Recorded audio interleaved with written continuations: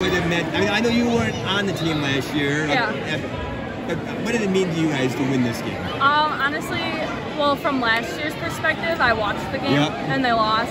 That was like, I seen a lot of things like obviously on the court you don't see, Mm-hmm. so it was like very different. And then um, this game, like playing in it, I think we really like our defense was amazing this game, and we really like that's what that was our main focus was defense.